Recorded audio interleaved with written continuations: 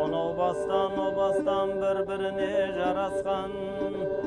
Жаралғалы қара жер жаралғалы көк аспан.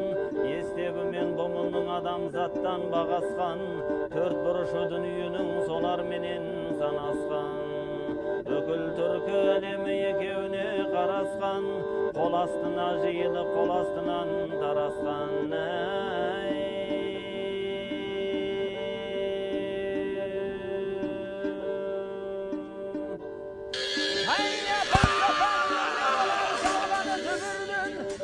жатқан қалың жаушымын жаннаны түгілген Дырдай болып келген мен бордай болып үгілген Басы барлар үйінің сесі бар бүгілген Ей бүгілгенде жүгінген Адырханым yolda temir kappan batısına berde Tarih boyunca Orta Asya'dan batıya doğru yaşanan büyük göç hareketlerinden biri de doğudan batıya doğru bir sel gibi akan Cengiz istilasıyla oldu. Orduların her şeyi yerle bir ettiği topraklardan kaçıp Anadolu'ya sığınanlar arasında birçok derviş bulunuyordu. O dervişler ki Piri Türkistan, Hace-i Türkistan olarak anılan ve Anadolu'nun manevi fatihi olan Hoca Ahmet Yesevi'nin mektebinde yetişmişlerdi.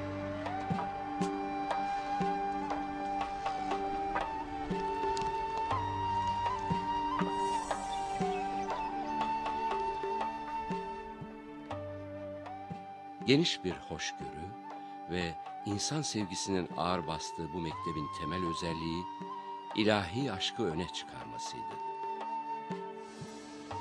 Daha sonra Yunus Emre'de, Mevlana'da, Hacı Bektaş'ta karşımıza çıkacak olan bu vurgu, Türk halk sufiliğinin en temel özelliğini oluşturur. Hoca Ahmet Yesevi, Yunus Emre, Mevlana ve Hacı Bektaş Veli. Onları aynı noktada buluşturan aşktır.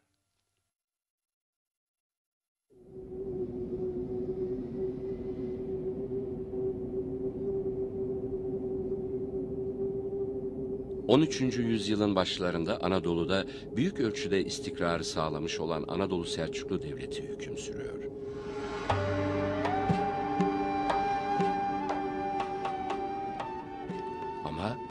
Manevi iklim Mevlana, Hacı Bayram Veli gibi büyük mutasavvıfların, Endülüslü İbnül Arabi gibi İslam düşünürlerinin, Yunus Emre gibi mutasavvıf şairlerin hakimiyetinde.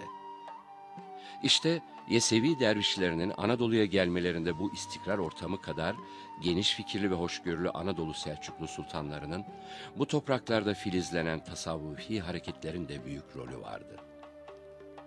Yesevi'nin marifeti olmayanın kerameti olmaz ilkesiyle yetişmiş dervişler, bir yandan Yesevi'nin hikmetini taşırken, bir yandan da Anadolu ve Balkanlarda yüzlerce köy ve kasaba kurdular.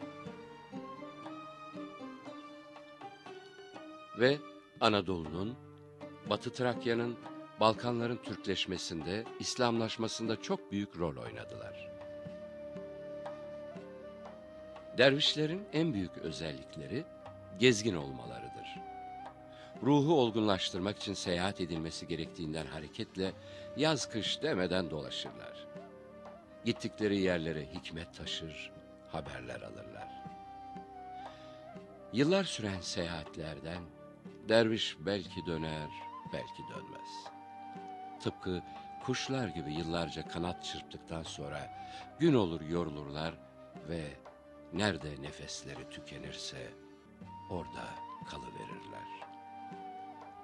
Her nefsin ölümlü olduğu düşüncesinin derviş kıyafetlerindeki tezahürü, kefen ölçüsündeki bir bezden yapılan sarıktadır. Ölümlerini başlarında taşıyan dervişlerin upuzun sarıkları açılır ve bu sarık dervişin kefeni olur. İşte bu kadar yalındır hayat.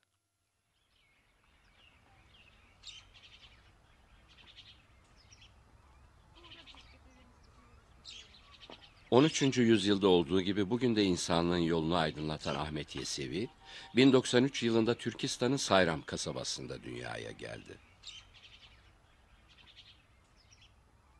Çok küçük yaşta anne ve babasını kaybetti. Ahmet Yesevi'yi büyüten ablası Gevher Şehnaz oldu. Kardeşini tahsil görmesi için Yesi'ye getirendi. Yesi de onun üzerinde en büyük etkiyi yapacak olan bir melameti sufisi bekliyordu Yesevi'yi.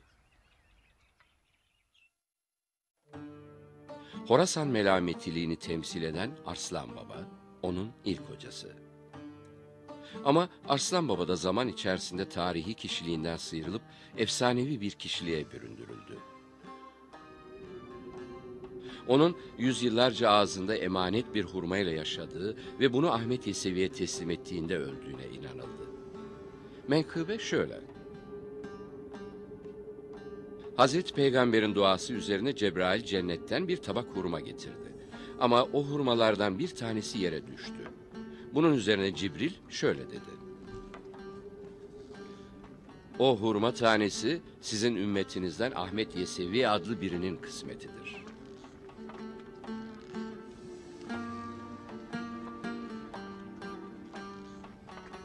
Resulullah hurmayı yerden alarak Arslan Baba'nın ağzına koydu ve hurmanın üzerinde bir perde oluşturdu.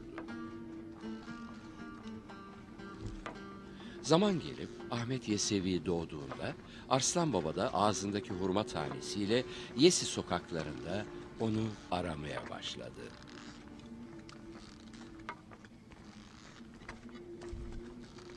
Ve emaneti sahibine ulaştırdıktan bir yıl sonra vefat etti.